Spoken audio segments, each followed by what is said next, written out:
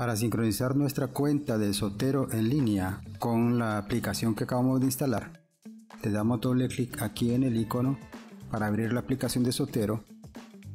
Nos vamos a Edit Preferencias, escogemos el tab que dice Sync y aquí donde dice Username escribimos la cuenta de correo con que abrimos nuestra cuenta en Sotero en línea.